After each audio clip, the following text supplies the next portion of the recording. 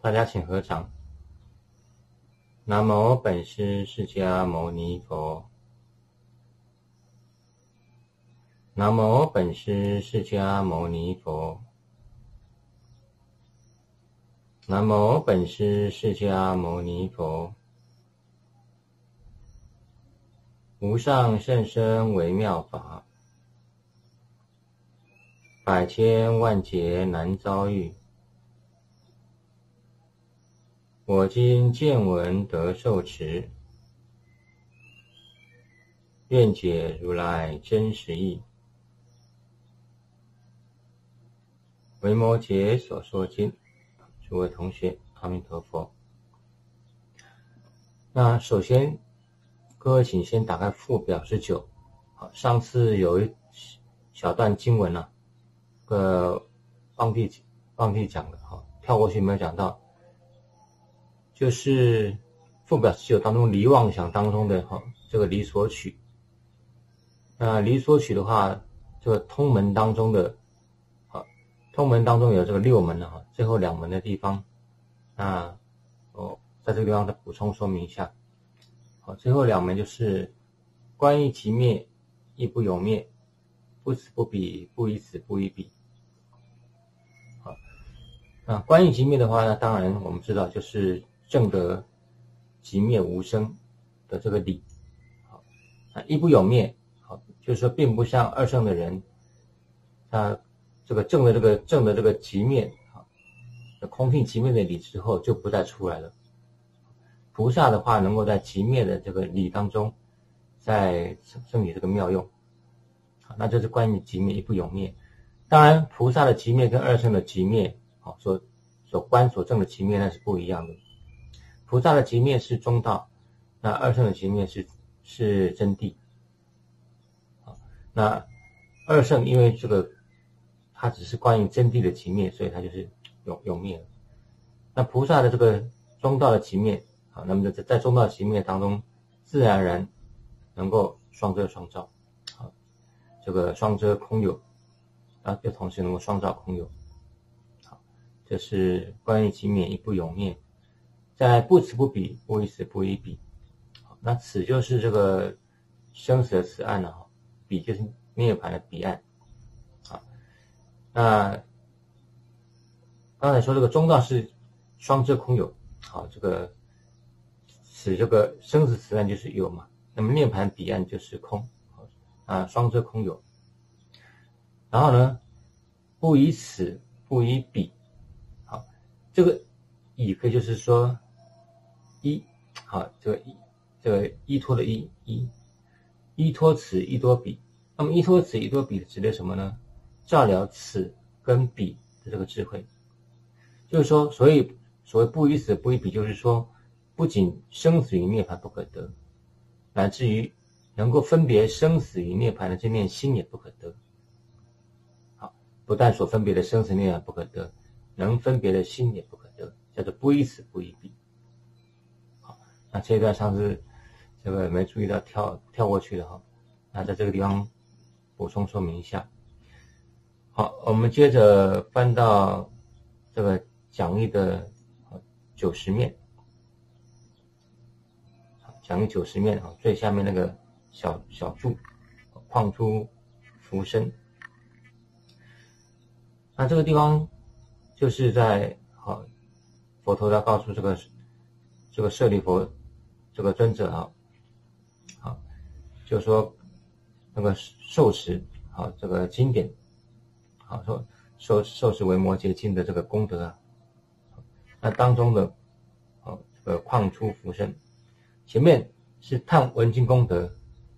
说能够受持好为摩诘经的话，易得善利。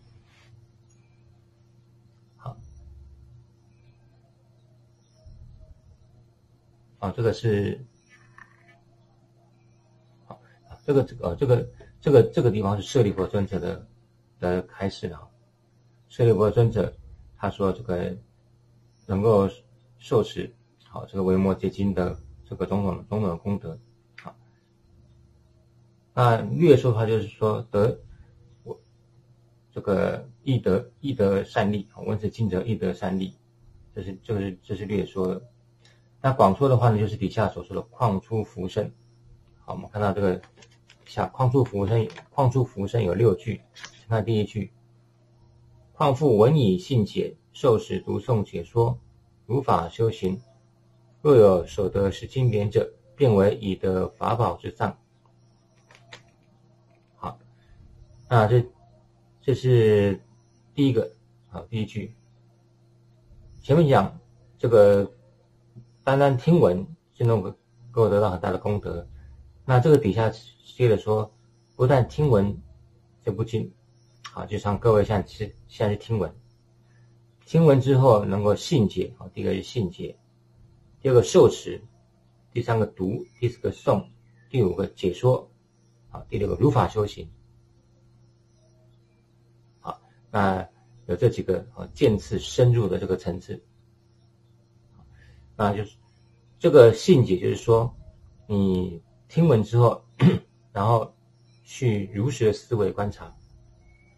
如实思维观察之后，对于所听闻的这个理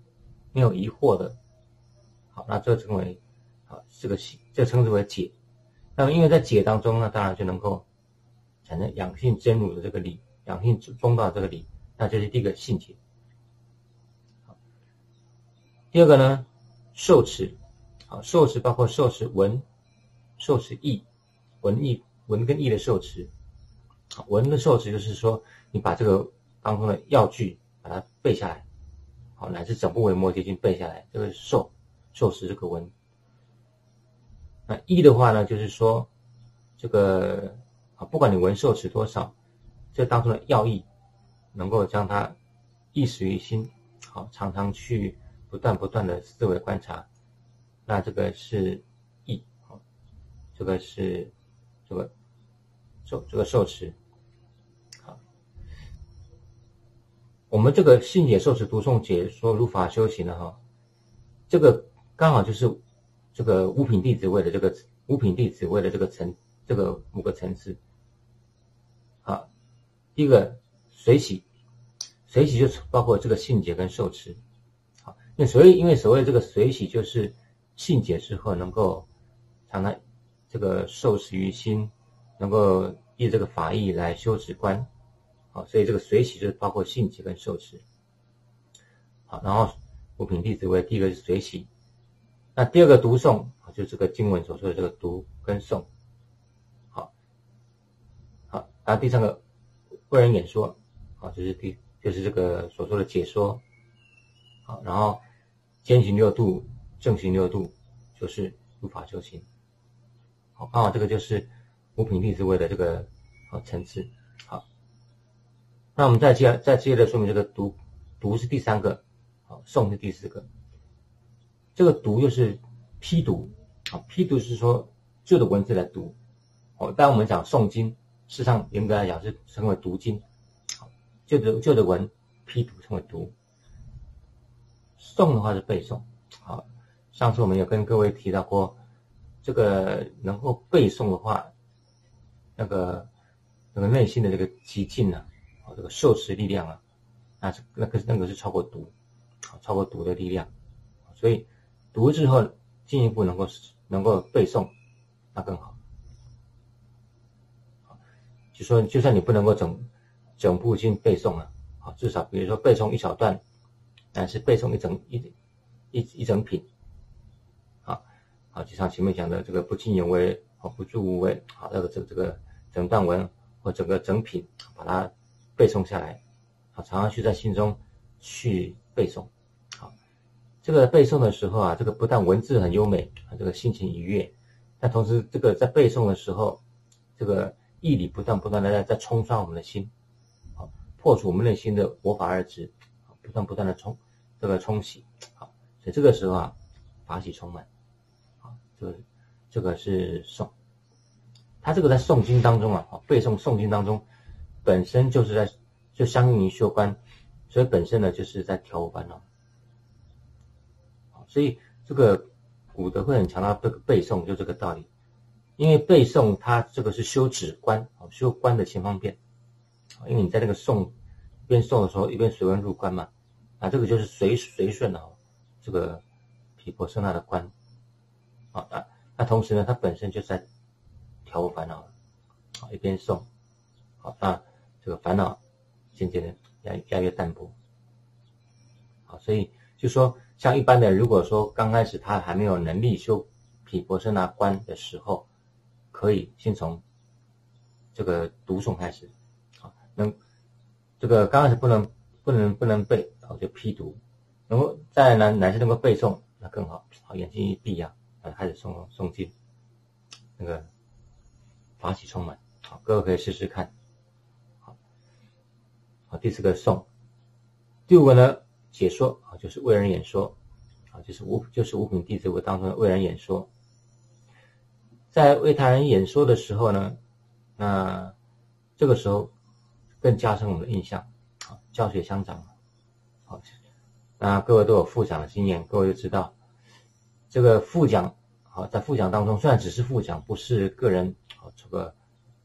彻底的发挥啊，但在这个当中，对于你所复讲这段的这个文字跟意义的这个这个摄持啊，哈，啊，比比起说只是前面的这个听闻，啊，然后信这个信解，那那深多了，好，所以这个为人演说解的的这个解说。啊，第六个呢，就是如法修行，就是兼行六度、正行六度。那就是说，前面透过这个这个随喜啊、读诵啊、为人演说啊，这个都是加深内在波尔这个种子的力量。那更重要的就是要立誓练心，啊，面对境界的时候，将这个波尔智慧运用出来。那这个就是如法修行，在日常生活当中行六度。或者兼行，兼行六度或正行六度。兼行的话，就是说，这个还是以内在的这个直观啊照料，自受用照料为主。那么正行六度就是正式的去历史练心的。好，那这个是你的五品位，好，这个相应的这个修行方式。然后呢，若有所得是进边者，变为以的法宝。就是说，你要是能够得到这部《维摩诘经》的话，等于你手头上已经拥有一部啊，整个你手头上已经拥有了这个无量的这个法宝的宝藏。好，就是说，等于说你已经拥有了一个宝库了。好，当然宝库你要慢慢的去到宝宝库里面，慢慢的去把它取出来，慢慢来用。好，所以取出来拿来用，就是前面讲的信解受持，还是如法修行。这个就等于是宝到宝库里面去取宝啊拿来用，但是呢，算取宝是慢慢的过程，但这个宝库已经是属于你的了，就就等着你去慢慢的去去取宝，啊，去拿出来用。所以我们我们都很庆幸呢，能够学习这个《维摩诘经》呢，就等等等于得到一个法宝之上，啊，具足无量无边的就佛法的珍宝的法宝的这个这个宝藏。的，好，那再就等就看我们怎么样去慢慢的把它给发掘出来了。看，这是第一句，好看第二句，若读诵解释其意，如说修行，即为诸佛之所护念。好，这个前面所说的读诵解释，好，读诵解说了哈，还有如说修行，如果能如果能这样做的话呢，好，那。这个除了自身的功德之外，再就是为诸佛之所护念，可以得到佛的护念，佛的这个加持。啊，我们佛教徒徒啊都很希望得到佛的护念与加持。啊，但是佛这方面是早就准备好了，佛的大悲心啊遍满整个法界，佛的这个智慧啊具足无量无边的这个善巧方便。但关键是众生的这方面还没准备好，好很难就很难接收到佛的这个护念与加持。就像这个手机坏掉了，故障了，那你这个电磁波纵然充满整个空间，也没有办法接收到讯号。只有你把手机只有把手机修好了，才能够接收到讯号，一样道理。所以佛的护念是本来就存在的，那关键是我们。所以透过前面的信解啊、受持、读诵、解说，乃至如说修行，啊，的这种过程，让我们的心清净，好，心能够跟心能够入于理，心能够入于理，那就能够跟佛的法身的这个理能够相应，理跟理就能够相应，同类相感嘛。你看为什么有的人会着魔？因为他的心的状态就跟就是就是就是不正啊，啊，就是就是邪，啊，心心邪不正，所以感应到就是一些邪魔外道啊。那当然，所以相对的，这个心要是正啊，安住在这个正念当中啊，般若波罗蜜正念当中，自然而然就跟佛陀的清净的法身相感应，这个因果相符合。那么另外，我们可以从譬喻上来说，就像这个水澄清呢，就能够引现出倒影一样。那水这个水就是我们众生的心，好，佛的价值就是倒影。那水浑浊的时候，并不是说倒影不存在，只是说倒影只是凌乱，无法显现。当水澄清不动摇的时候，这个倒影才能够清晰的显现。啊，佛的护念像倒影一样的这个道理。这第二句，第三句，其有供养如是人者，当知即为供养于佛。前面两句都讲到这个受持人我结经的人本身的功德。好，那第三个呢，讲到能够供养如是人。好，如是人什么呢？就是受持为摩诘经的人，也就是也就是佛所护念的人。你能够供养佛所护念的人，当时就就等同于供养于佛，啊，这个道理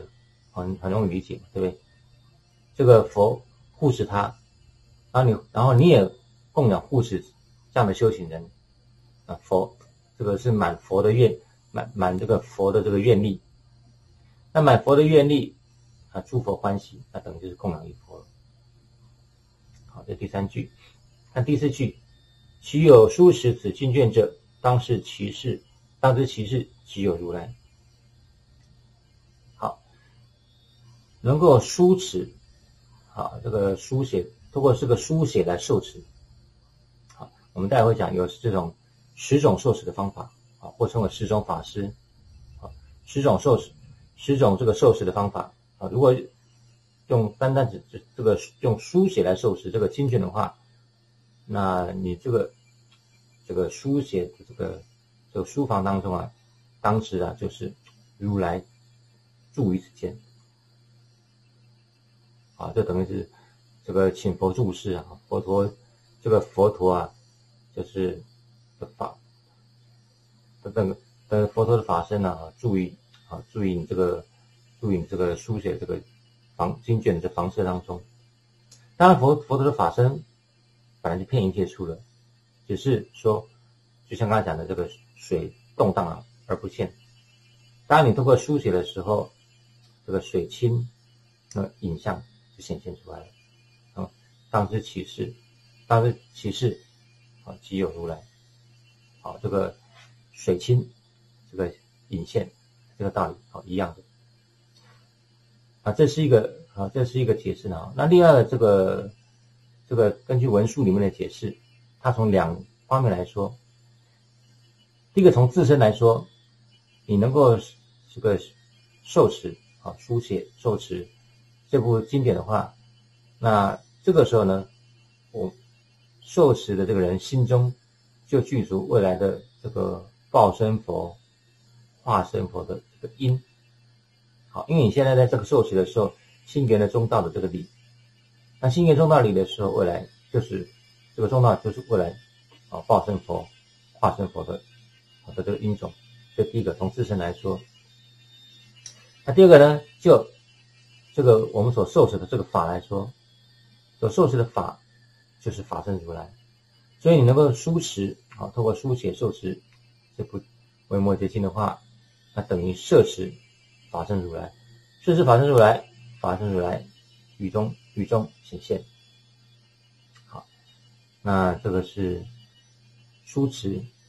好，那当然其实不止书持啊，你在那个地方静坐读诵修止观，啊，这就是说修行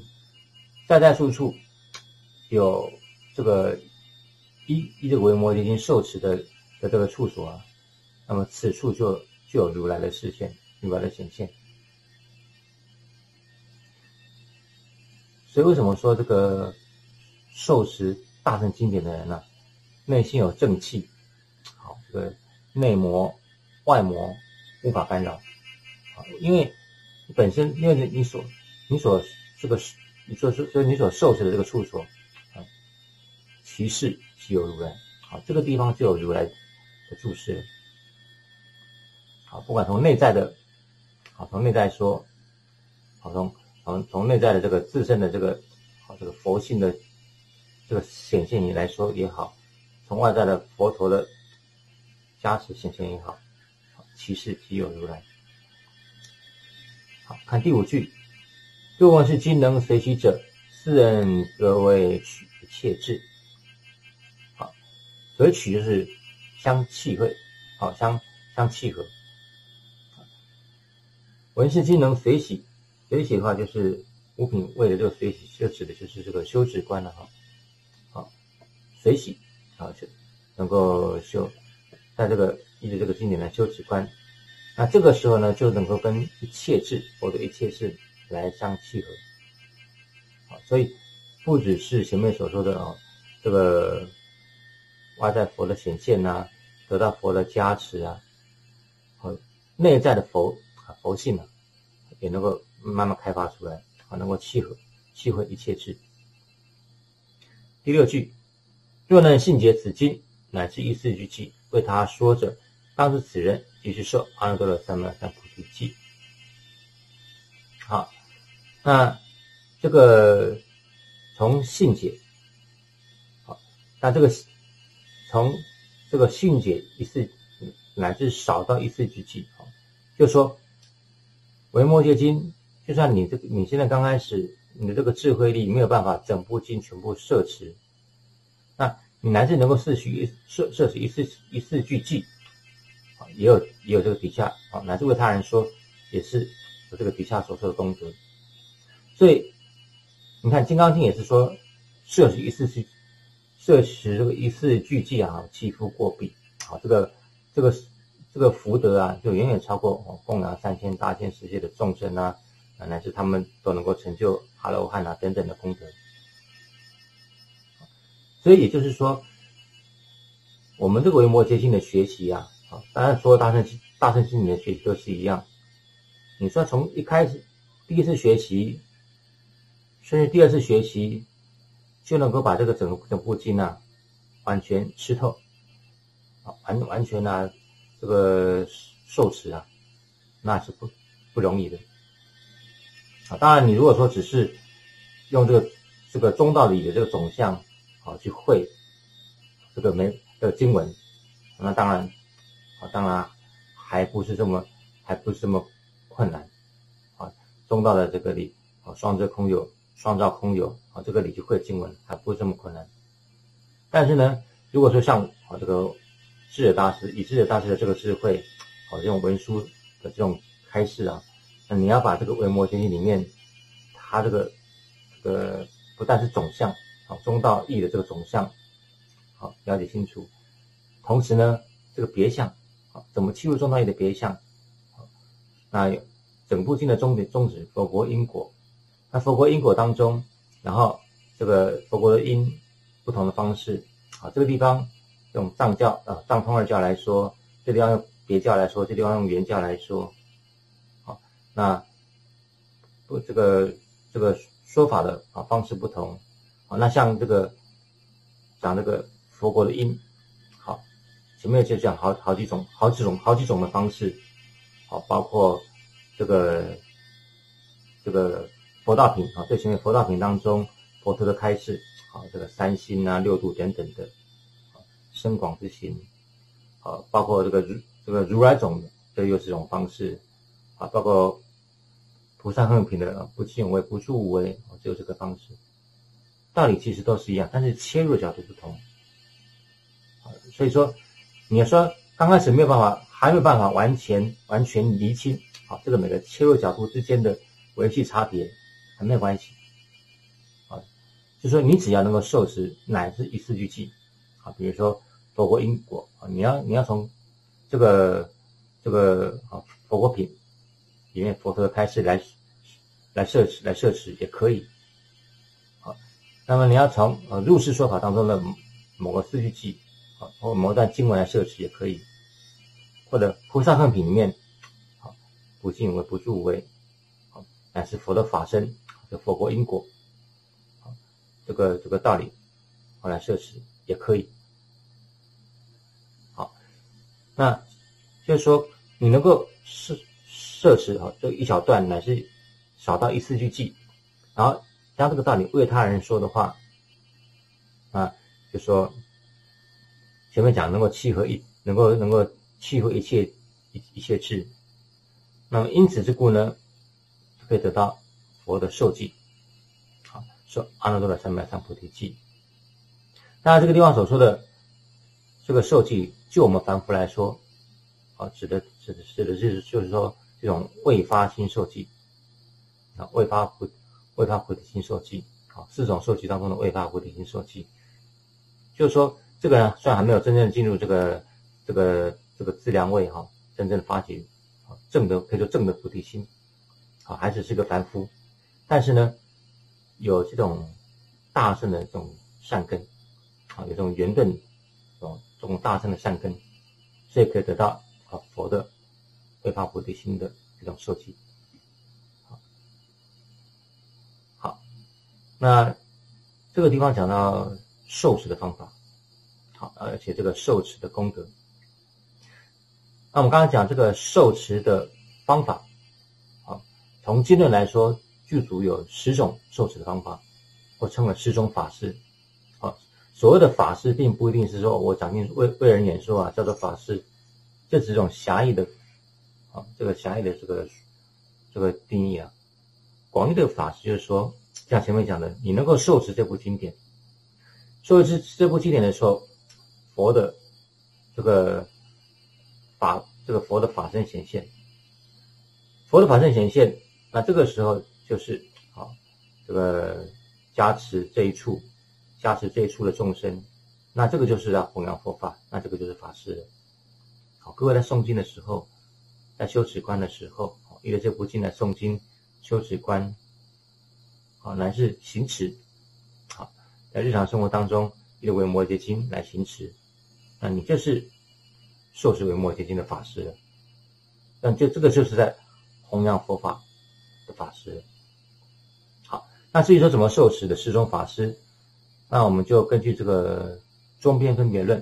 啊，也也也就是这个辩中辩论啊，这个天津菩萨所造的这个论一段其中来说明：书写供养诗，听读及受持，广说及读诵，思维及修习，这四个。第一个书写，好，就是抄经，好，现在很流行这个抄经，好，但是抄经之后，这个经典的处理要很注意的哈，不要不要乱丢，这个是一个书写。第二个供养，供养经典就是说，像我们的佛堂，好，这个佛堂佛桌上除了供养这个佛像之外，啊，这是佛宝，你也你也可以供养菩萨像。这个是大圣的身宝，另外呢，你可以供养大圣经典这个法宝啊，就是放一部《维摩诘经》也好，放一部《法华经》也好，任何经也好，好放一部大圣经典放在上面。好，比如说我们现在在学《维摩诘经》，你就供了一部《维摩诘经》，啊，放在佛桌上，然后呢，你这个盖经不盖着，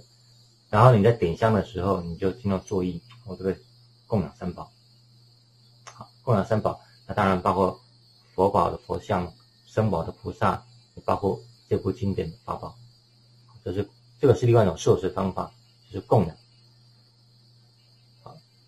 书写供养。第三句啊，第三个供养就是施，布施，布施施与他人，印经，好，这个布经太好了，但是呢，这个外面流通不多，我们可以这个畅印，啊，畅印这本经典，那也是透过畅印，也是跟这部经呢，哈，结这个波尔缘。也是受持方法之一。那这个第四个呢，听这个所谓听，就是说他人的他人这个读诵啊，我们已经听闻，啊，这个听啊，听他人读诵，啊，比如说现在都有录音嘛，听录音读诵，这些听。读呢，读的话，这个是批读，好，这个玄奘大师翻译翻译成批读，批读就是看着本本念批读，好，在第六个受持。受持的话，就是说，我们讲受持闻，还有受持意，啊，就是不断不断的去思维观察，啊，这个去不断不断咀嚼，这个这当中的文字跟义理的的意涵，这个受持。第七个广说，好，就是为他人为他人说，好，为他人演说广说。第八个读诵，第八个读诵就是这个。背诵，好，前面是批读，这个地方玄奘大师翻译成奉诵，啊，奉就是一个言字旁一个风，风雨的风，奉诵。那这个就是背诵，我们刚才讲到这个背诵啊的这个书圣，啊，第八个奉，这个第八个读诵。那第九个呢是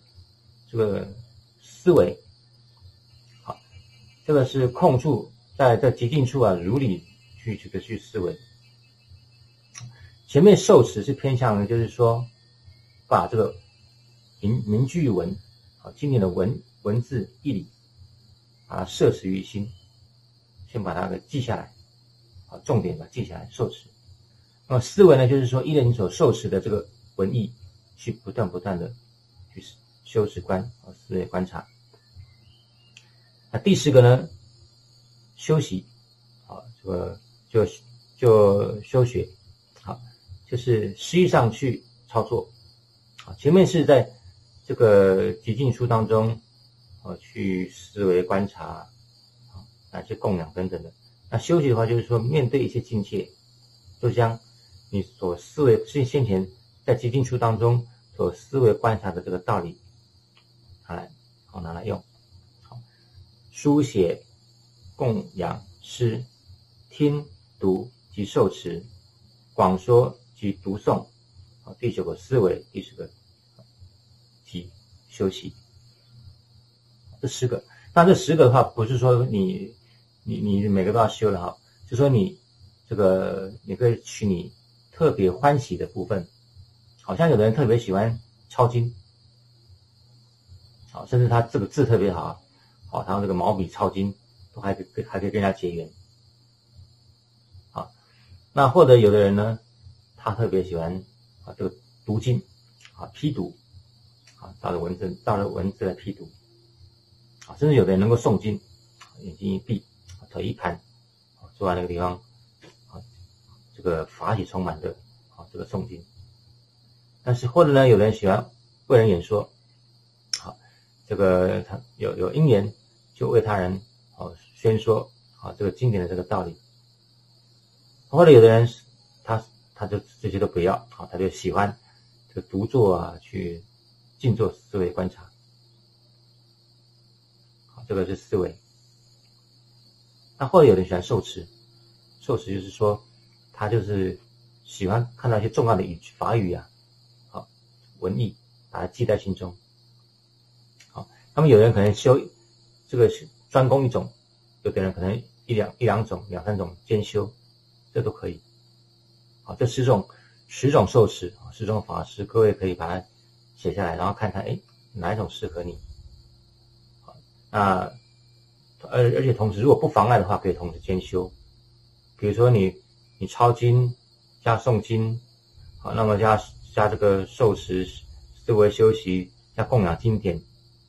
这些都不妨碍啊。好，那乃是休息，这个都不妨碍的。好，这个。这个同时并行，当然这当中可以有个主了，比如说你欢喜常常诵经，或者欢喜常常修习持观，啊，就以这个为主，那其他为辅。好，那这个是受持，那这个那后面这个地方就是说，这个舍利弗尊者啊说这个受持经典的功德，当然他能够这么说啊，这个已经超过阿罗汉的智慧了，这个。肯定是佛陀的加持，透过舍利弗尊者的口，佛陀的加加持啊，好，然后来来来宣说的，啊，因为这个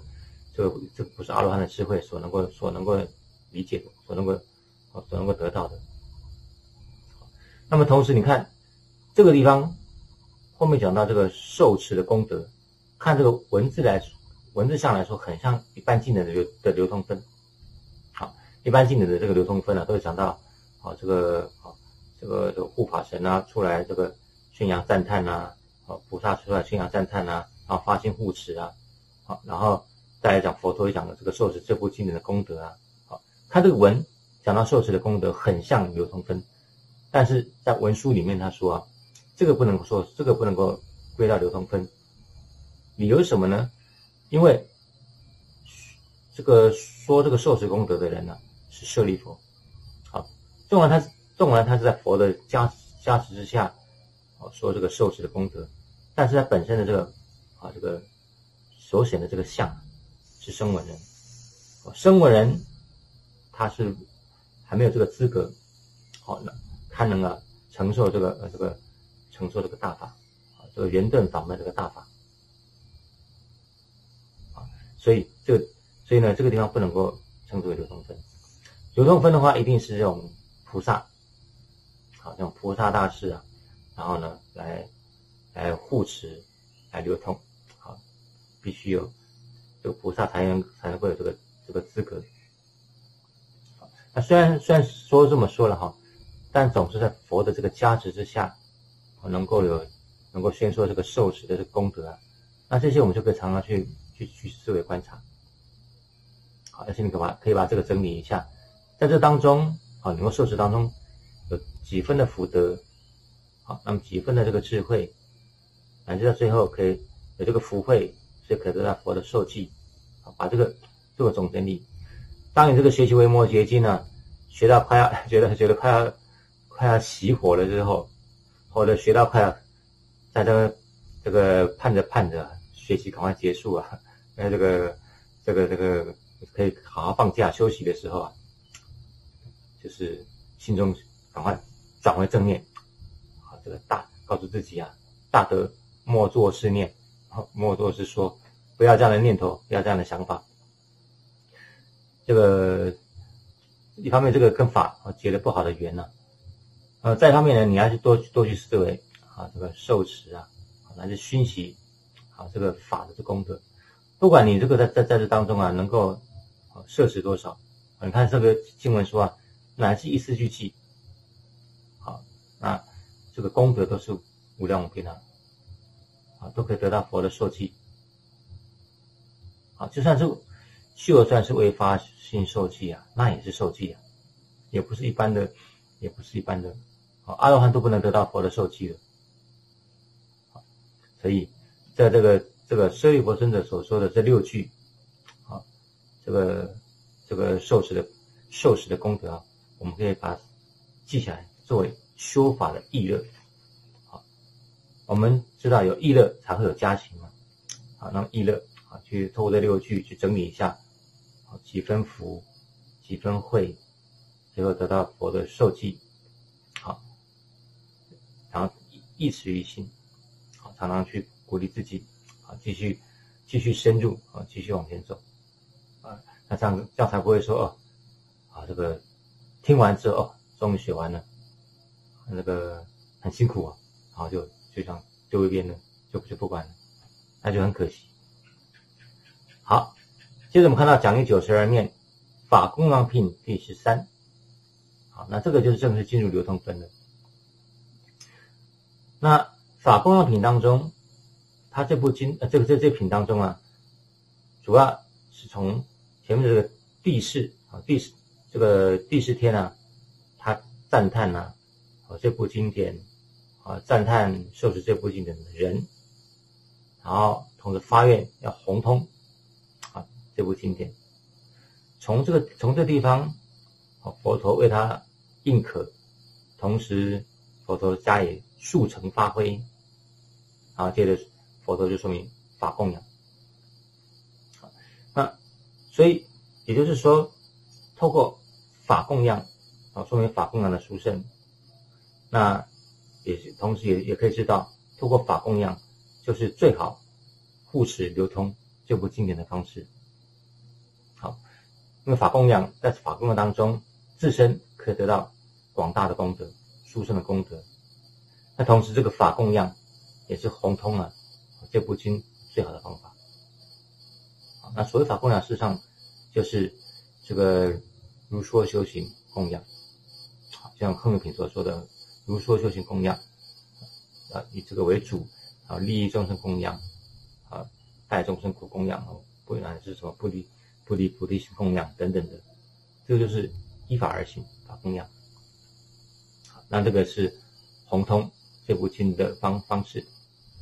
好，我们看到 这个科派甲三流通分，这个所谓流呢，就是从上往下流，好，就像那个。这个瀑布的水啊，从上往下流，这个叫流。好，那这个代表什么？佛的这个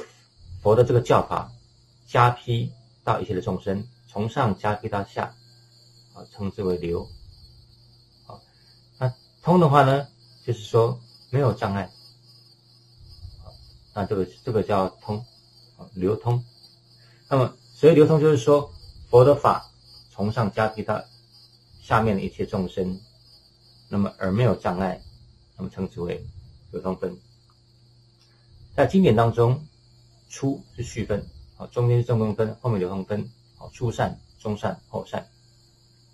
好，那这个序分，古的譬喻就像一个人的这个脸，你看到一个人，首先看到他的脸，好，然后这个正中分就像一个人这个这个躯干，这个人的这个主要的五脏六腑都在这里头。那么流通分呢，就像一个人的这个手脚啊、四肢，好，有这个四手脚啊摆动啊、运动，才能够带着这个这个这个头啊、躯干啊啊往前走。好，所以这个流通分就像一个人的这个四肢一样，好，可以使这个法运行没有障碍。好，这是流通分。流通分有有两品，好，所以分为两段。法供养品是第一，是第一品，第一段，以显红金之德重，好，说明弘扬经典的这个功德是很殊胜的。当中分了两段，丙一，天地称叹红金，这个地方为什么首先是由天这个天地啊，这个就是这个尸体还阴哈，大力天的天主尸体还阴。他出来代表，来来称叹，就称叹这个法，称叹这受持的人，然后然后发扬在弘扬经典的，为什么由他出来做代表呢？啊，这个其实这一切的布局啊，都是有他的啊这个声音在里头的。啊，那首先从这个表象上来说，啊，这个第四天呢。啊这个他是呃这个随喜赞叹这个法，然后他自己本身想要深入这个法，啊，同时呢也想要也想护持，好这个学习这个法的大众，所以呢他就站出来，啊这个赞叹，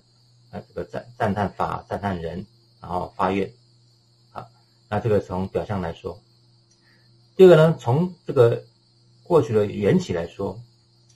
啊释迦牟尼佛。刚刚成道的时候，他是没有说法，好，因为根据这个十方诸佛的这个这个古制啊，好，就是说佛陀出世之后，必须要有人来请，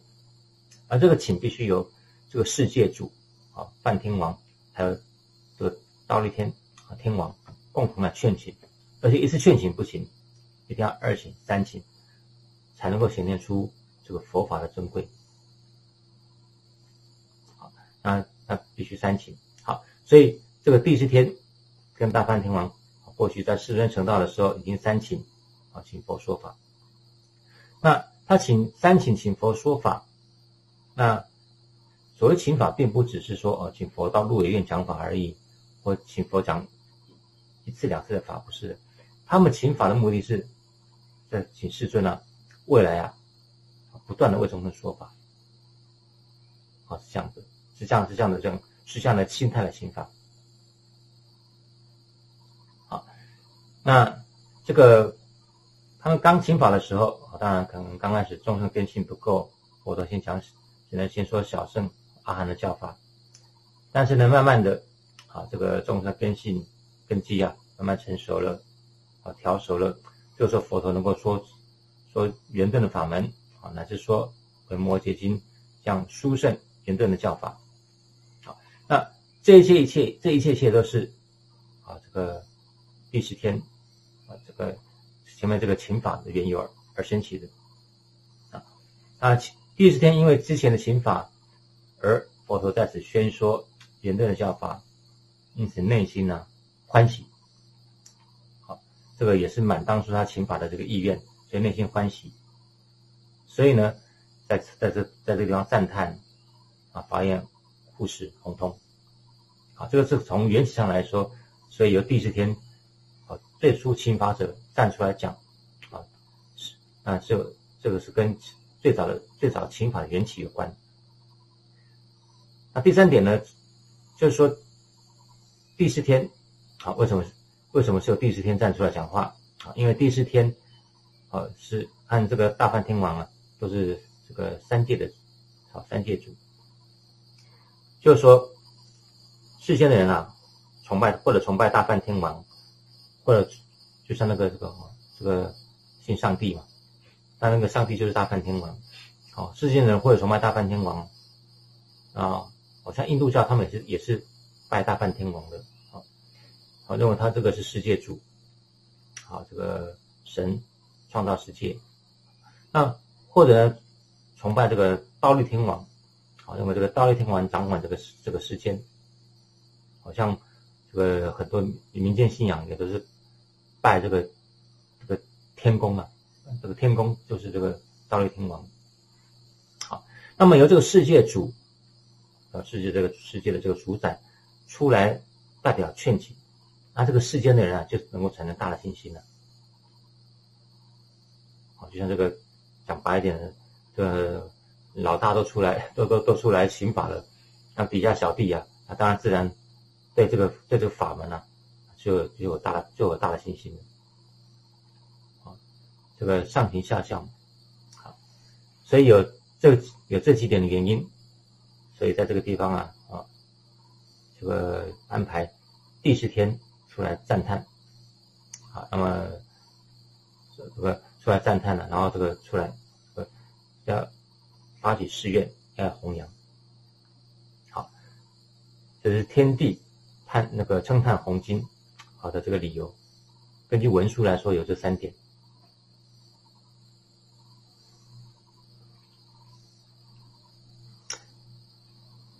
那各位各位可能会觉得这样讲有点繁琐了哈，但是我想，其实我们在讲这部经的时候，我们在讲这部讲这部《维摩诘经》呢，主要目的就是除了除了要学习《维摩诘经》之外，再来也是假借这个《维摩诘经》来学习天台。好学习天台的教官，而学习天台的教官呢，当然，所以我们就必须要根据文书的注解，啊，因为文书注解里面，它就是就是广说天天台的教官。那所以我们在讲我们在讲经的时候，我们会比较死板一点，哦，这当中个人发挥其实比例不算多，很多都是把文书的这个里面的要义啊，好重要重要的要义，然后用文口述的方式讲出来。为什么呢？就是抛砖引玉啊！我把文书的要义讲出来之后，各位啊懂了这个道理之后，以后有机会就能够进入好去看文书。那去看文书的时候，深入看文书，一遍看、两遍看、五遍看、十遍看，不断不断的看。这个时候，你对透过这个文书，对一方面对维摩诘经的道理了解越来越深入。第二个呢，对于天台天台止观的这个教法了解。也就越也就越来越深入，所以我们我常常引文书啊，然后会讲的比较繁琐，啊，是有是有这个原因。为了一个深入了解这部经的佛陀真实意，第二个呢，就是为了引导各位以后深入文书乃至天台教观，所以有时候讲的比较繁琐，啊，那但这个繁琐当中，各位就说各位可以。各位在在学习第一次学习、第二次学习的的时候，可以。再次的把它简化。好，就像这个我们讲缘由，好，这个你知道一下有这个事就可以了。好，但是呢，我们重点在法供养这个道理上面。好，为什么啊？什么是法供养？为什么法供养功德殊胜？那么为什么法供养就是在红通这部经典啊这个几个大纲上面？那在这个在在这个当中，我们会引了引了一些哦文书的一些啊，甚至之前引引那个这个会员大师的注解，好，在在消文部分文书没有没有消文，我们的在引会员大师的注解啊帮助消文。好，那这些有时候内容比较繁琐，你就自己去自己去掌握它的要义就好了。好，哪个是哪个？意义当中哪个是主，哪个是伴，你去了，你要你要去把它掌掌握清楚就好了。好，当然伴也不是完全完全完全完全都无所谓，完全忽略不是，而是说你在第一次学习的时候，先掌握这个主要主主就好了。伴呢，先知道这个事情，好，没办法全部设置没关系，先知道先知道这个事情，然后以后再慢以后再慢慢的通过一次又一次的学习。慢慢的把它细化，好，然后在细化过程当中，同时也在不断的深化，好，越来越深入的理解，好，但刚开始的时候，先不要说这么细这么深，先把这个大结构，就像刚才讲的这个，啊，法供养，什么是法供养？为什么法供养功德殊胜？好，那为什么法供养就是红通这部经典？这几个重点大纲掌握住。好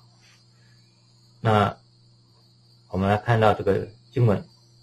好，第三探法。二是释地华音与大众众白佛言：世尊，我虽从佛及文殊师利闻百千经，未曾闻此不可思议自在神通决定实相经典。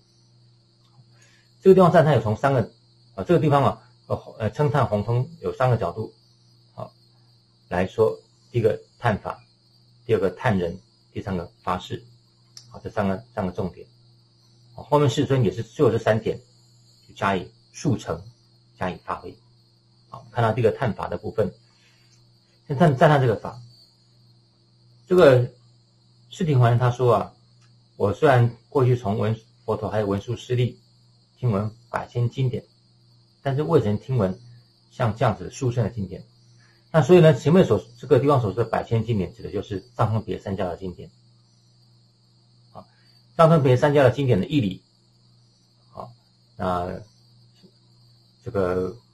相对于这个就是相相对于维摩诘经来说啊，维摩诘经就是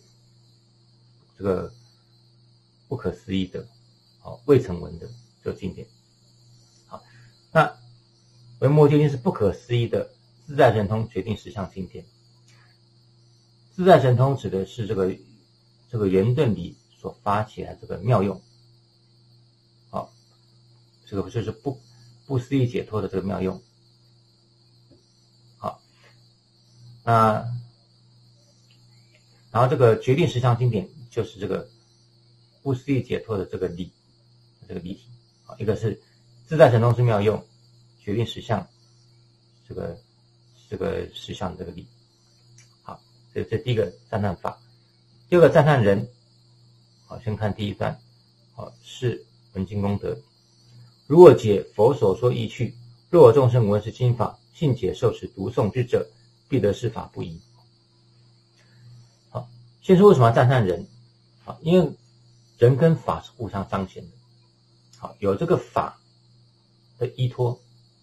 才能够成就人嘛，对吧？我们依着这个法来修行，才能够成就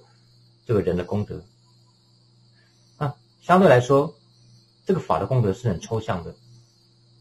好那么或者说让大家觉得不容易理解的，那怎么样去帮助理解呢？从人来显现法，好，从人的功德来显现法的功德。就说为什么知道这个法的很殊胜呢？你就看到这个受持受持这个法的这个众生啊，这个人呐，功德殊胜，这个知道这个法的殊胜。就像我们看，为什么说大圣的法比小圣的法来的殊胜呢？因为大圣菩萨道比小圣殊胜啊，小圣就是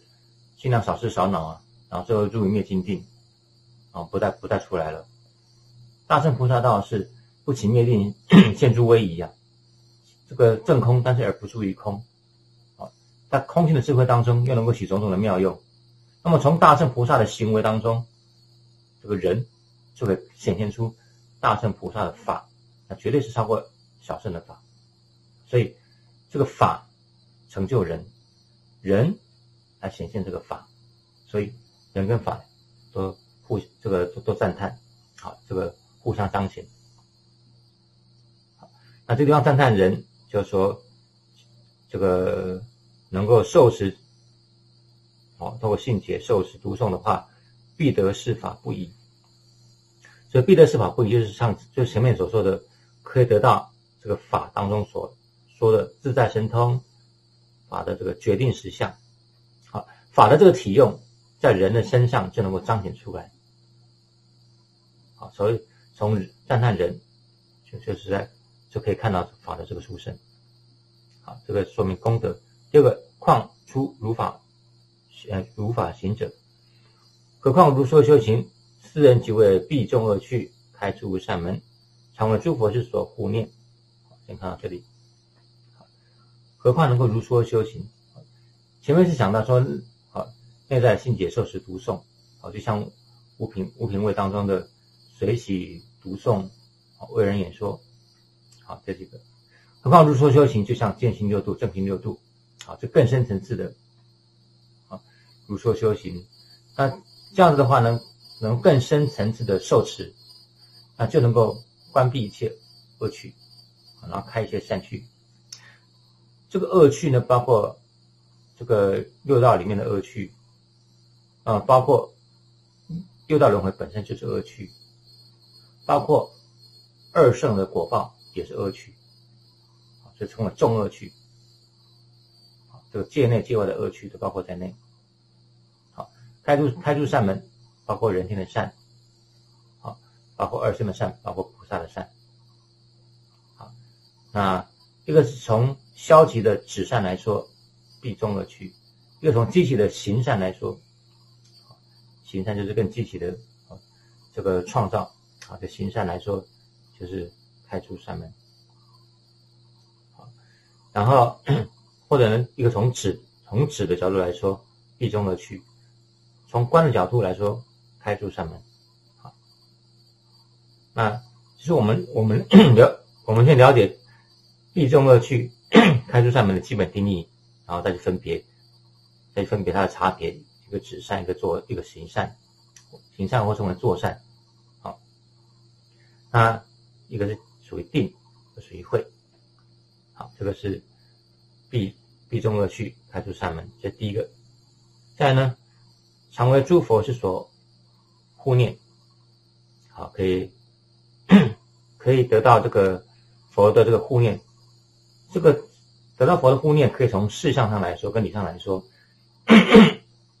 事相上来说，就像前面讲的，水清影就显现。好，我们能够受持这部经典，内心清净，内心清净，那么心水澄清，佛的加持的影像就能显现。这从事相上来说，好护念。第二个呢，从理上来说，诸佛是所护念，就是这个佛的话，指的是我们内在的这个。这个正念和觉照正念，佛的觉也嘛，哈，觉照正念，我们能够这个信解受持，好内心这个止观的这个觉照不断，内在内在止观的这个觉照不断，那我们就可以得到这个觉照力，啊，直观觉照力的这个护念，啊，而能够这个离苦得乐，消灾免难。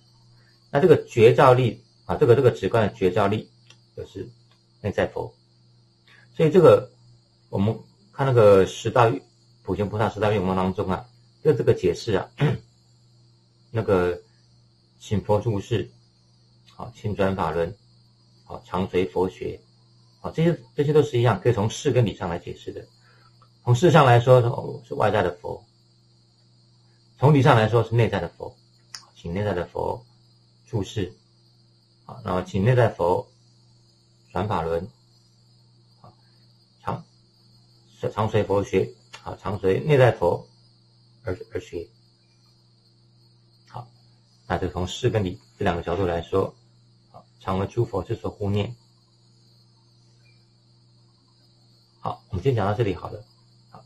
上下文长，复待来日回向。各位请合掌，愿以此功德庄严佛净土。上报四重恩，下济三途苦。若有见闻者，悉发菩提心，尽此一报身，同生极乐国。下课。